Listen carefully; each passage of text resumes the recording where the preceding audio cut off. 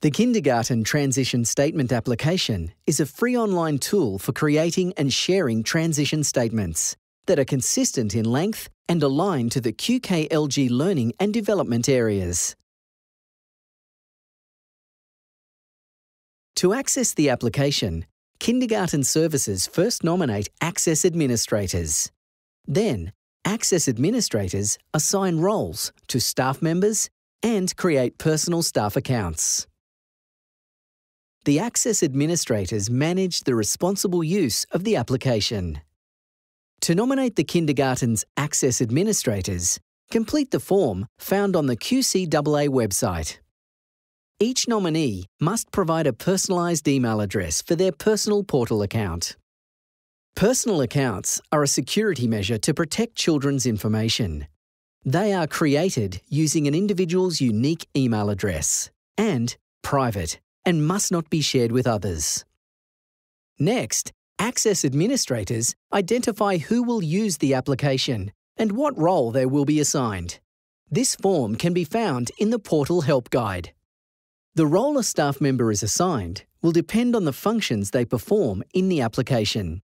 Staff with the editor role can only create and edit their own transition statements.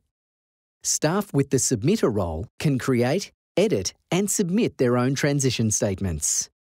Staff with the delegate role can create, edit, and submit transition statements, including statements created by other staff. Staff with the director role can perform all these functions, and they can also delete transition statements.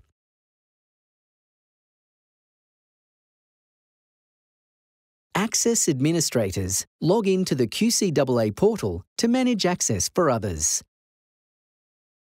They will see the Access Management and Kindergarten Transition Statement tiles. Use the Access Management application to create personal staff accounts. Select the Access Management application.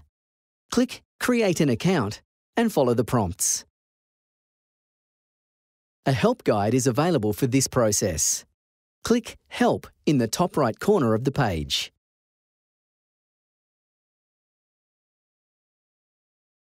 To insert a logo, click Org Details in the Access Management application and follow the prompts.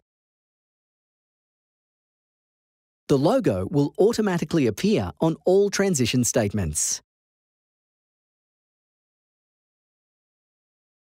For services with multiple kindergarten classes, directors and delegates can use the Classes function to link teachers to a class. Click on the Kindergarten Transition Statement application tile. Click Add Class and enter a class name. Then select Save Class. Click Edit and add the teachers responsible for that class. Statements created by the teacher will link to their assigned class. Statements are locked for teachers not linked to that class. On the summary page, the locked statements will appear greyed out.